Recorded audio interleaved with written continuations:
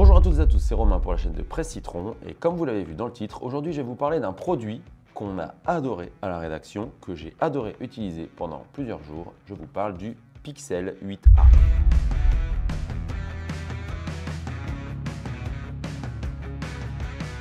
Alors chaque année, Google annonce trois produits, un Pixel 8, un Pixel 8 Pro, qui sont ces deux modèles haut de gamme, et un petit peu plus tard dans l'année, une version A qui reprend quelques caractéristiques des modèles haut de gamme, mais pour un prix beaucoup plus contenu. Cette année, le Pixel 8a est proposé à 549 euros. Il viendront concurrencer des modèles comme le Galaxy A55 par exemple. Et dans ce segment de prix, bah, clairement, le Pixel 8a, c'est notre coup de cœur de l'année. Encore une fois, parce que c'était déjà le cas l'année dernière avec le Pixel 7a, et je vais vous expliquer pourquoi. Alors à première vue, le Pixel 8a, bah, c'est un pixel, il n'y a pas photo. Google reprend tous les codes de ses produits, donc c'est un design toujours très original. Il y a toujours des couleurs très flashy. Alors nous, on a le modèle noir pour notre test, mais il existe un vert et un bleu par exemple qui sont vraiment magnifiques. Alors ce Pixel 8a, il a quelques particularités. Bon, c'est un modèle milieu de gamme, donc il n'est pas fait de matériaux ultra premium. On est sur un plastique, mais un plastique de très bonne qualité. Il est hyper bien travaillé. On n'a vraiment pas l'impression d'avoir un téléphone en plastique. Le traitement au-dessus de la surface, il est vraiment qualitatif.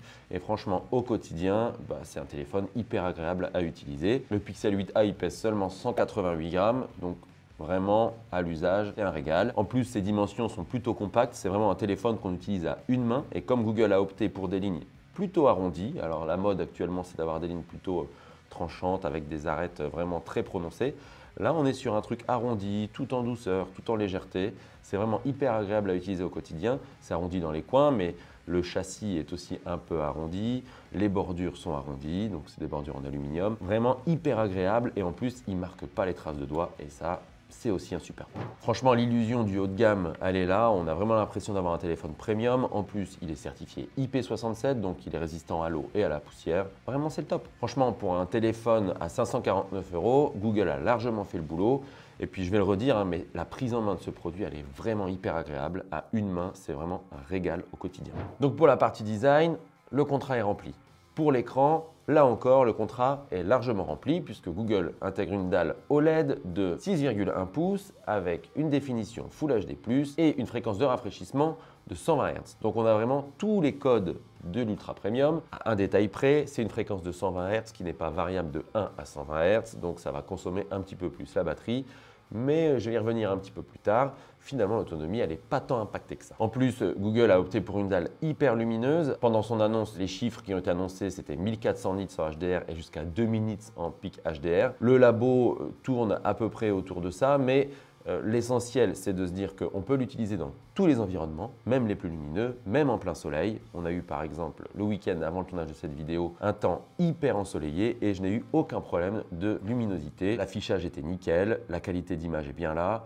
En plus, sur un format de 6,1 pouces, le Full HD, c'est largement suffisant. Donc, pour jouer, pour regarder des vidéos, pour naviguer sur les réseaux sociaux, pour faire de la navigation, enfin bref, pour tout, L'écran, il est génial. Il n'y a qu'un détail qui m'a bien chagriné quand même, c'est qu'on est en 2024 et que les bordures noires, elles sont hyper larges. Donc esthétiquement, c'est pas foufou quand même. Hein. Euh, de face, le Pixel 8a, bah, il fait un peu old school. Mais bon, franchement, au quotidien, on oublie ce petit détail assez vite, d'autant que la qualité d'affichage, elle est assez folle. Et en plus, c'est un truc qu'on mentionne pas souvent dans les tests, mais Google a intégré un moteur haptique pour les vibrations en fait, qui est vraiment de très très haute qualité. Donc les sensations euh, lorsqu'on tape ou lorsqu'on active le lecteur d'empreintes par exemple, elles sont vraiment ultra premium. Donc le design et l'écran, on est proche du premium. Sous le capot, on est aussi proche du premium puisque Google a intégré exactement la même puce que ses Pixel 8 et Pixel 8a. On a donc la Tensor G3 qui est la toute dernière puce de chez Google qui délivre des performances qui ne sont pas le top du top dans les benchmarks. A toujours été avec les puces de chez Google parce que ce sont des puces qui sont optimisées pour l'intelligence artificielle.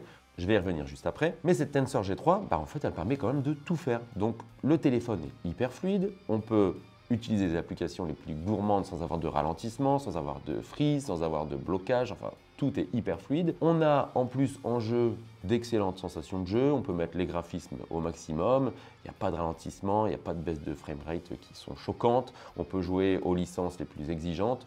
Moi je joue par exemple à Warzone mobile ou à Call of Duty mobile. Et franchement, ce sont des jeux qui sont quand même assez nerveux, avec une qualité graphique euh, quand même assez élevée. J'ai vraiment pas eu de problème avec euh, ces jeux-là. Donc pour moi, il n'y a rien à dire. Pour tous les usages, il n'y a aucun problème. Pour la retouche photo, c'est pareil, c'est nickel. Et en fait, on sent bien, par exemple, sur de la retouche photo avec de l'intelligence artificielle, que la puce Tensor G3, elle est faite pour ça, pour l'intelligence artificielle. Parce que vraiment, si les temps de calcul sont un petit peu longs, hein, mais en même temps c'est normal, toujours avec l'IA, bah, en fait, euh, les résultats sont fous. Quoi. Ça se fait euh, en toute transparence, avec beaucoup de fluidité. Donc vraiment, nickel. Alors certains regretteront peut-être qu'il n'y ait que 128 Go de stockage sur le modèle à 549 euros, mais bon, Google propose aussi une version à 256 Go. Sur ces modèles, il est assez rare maintenant de trouver des cartes micro SD, même s'il y en a qui le font encore. Mais bon, 128 Go, euh, sachant que en plus les pixels sont connectés à Google Photos et que les photos vont se euh, stockés en ligne. Bon, bah, en fait, la mémoire, on en a largement assez. Moi, les 128 Go, je les ai même pas remplis alors que j'ai importé euh, tous mes contenus depuis plusieurs années que j'avais déjà sur l'autre Pixel. Pas un problème. Et puis surtout, il y a un point sur lequel je vais insister, c'est que malgré son format compact, malgré sa légèreté, enfin malgré ce petit châssis, eh ben, en fait, le téléphone ne chauffe jamais, même en jeu. Et ça, c'est vraiment un point vraiment important quand on a un téléphone euh, milieu de gamme, parce que souvent sur les milieux de gamme, en tout cas sur des tarifs milieu de gamme, euh, on a des téléphones qui ont tendance à chauffer parce que les puces ne sont pas optimisées pour le jeu.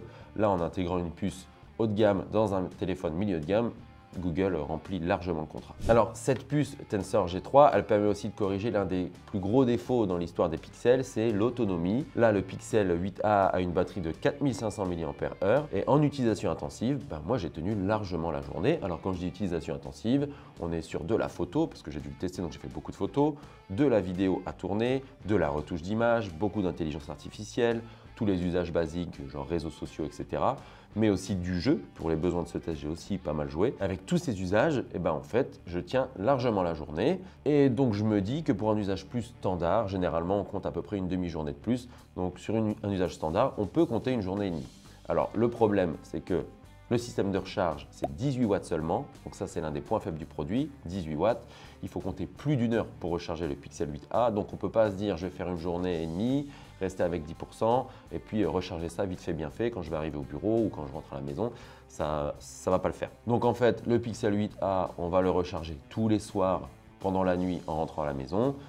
On peut opter pour de la recharge filaire ou pour de la recharge sans fil. Ça, c'est aussi une caractéristique hyper intéressante parce que sur le milieu de gamme, généralement, les constructeurs ne mettent pas la recharge sans fil. Ils jouent un petit peu euh, le jeu de la montée en gamme. Donc, en gros, si vous voulez de la recharge sans fil, il faut passer sur le modèle premium. Euh, les milieux de gamme n'en ont pas. Bah là, sur le Pixel 8a, il y en a aussi.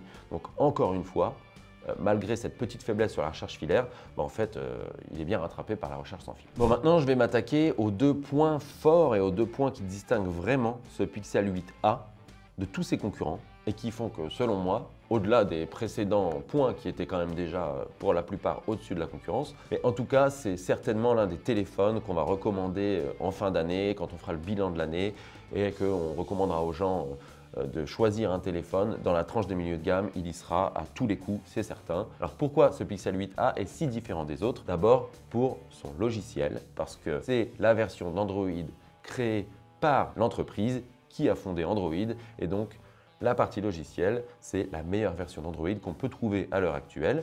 D'abord pour toutes les petites optimisations et pour l'identité pixel que moi j'affectionne particulièrement, donc c'est peut-être très personnel, mais que je trouve vraiment efficace au quotidien. C'est un vrai plaisir d'utiliser un téléphone pixel tous les jours. Plein de petites choses je saurais expliquer en fait, mais plein de petites optimisations, des petites fonctionnalités, des options de personnalisation qui font qu'un pixel reste un pixel et ça reste différent des autres. C'est un petit peu le même phénomène qu'on a sur les iPhones et, qui font qu'il y a des gens qui préfèrent l'iPhone par-dessus tout.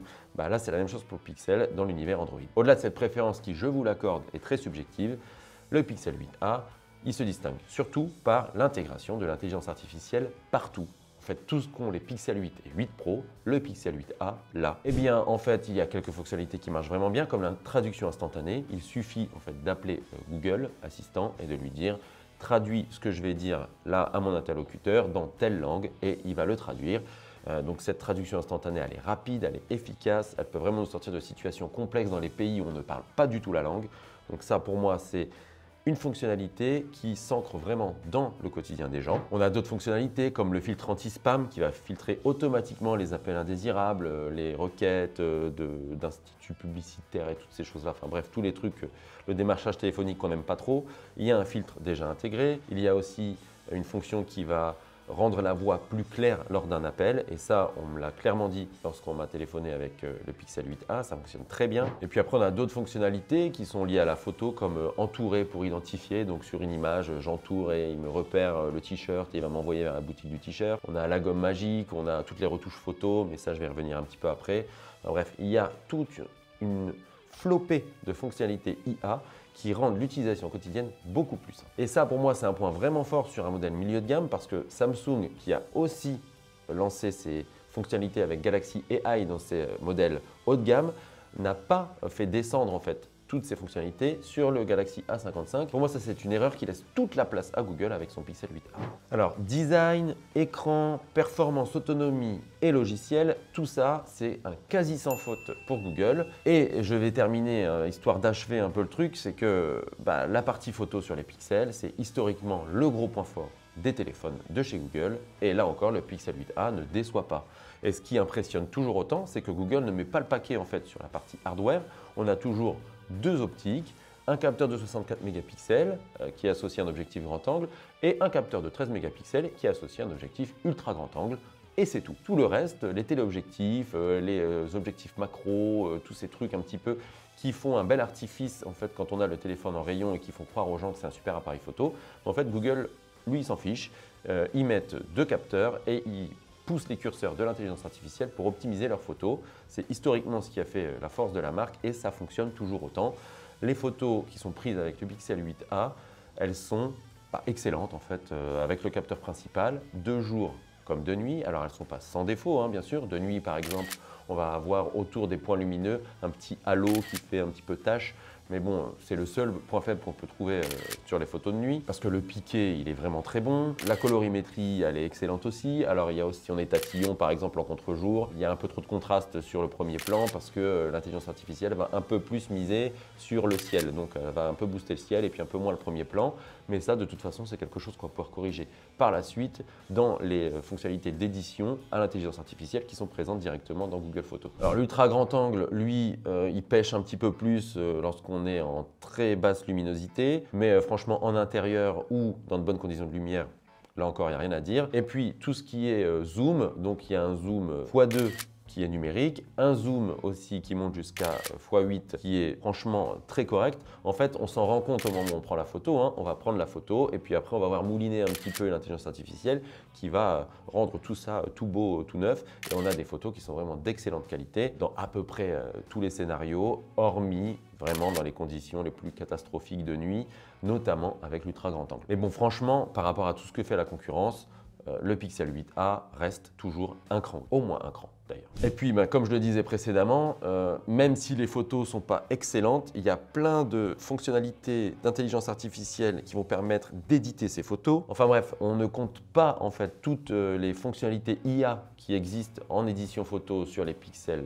8, 8 Pro et 8A du coup, qui vont permettre d'améliorer les photos quand celles-ci ne sont pas excellentes tout de suite. Je parlais tout à l'heure par exemple de la différence de contraste entre le premier plan et le ciel quand le ciel euh, doit être euh, amélioré en fait en termes de luminosité. Bah, en fait, en allant dans les fonctionnalités d'édition, on peut rattraper tout ça et avoir une photo finale qui est excellente. Et tout ça, ça prend 3 secondes, hein. c'est juste en appuyant sur un bouton, il n'y a pas à faire des réglages hyper complexes. Et puis enfin, les pixels, moi j'ai pas toujours euh, trouvé que la vidéo était excellente sur les téléphones pixels. Euh, d'ailleurs, je le disais dans, les, euh, dans le test du Pixel 8 et du Pixel 8 Pro, par rapport à l'iPhone ou au haut de gamme Samsung, bah, les pixels, ils étaient très bons, mais ils n'égalaient pas les modèles concurrents.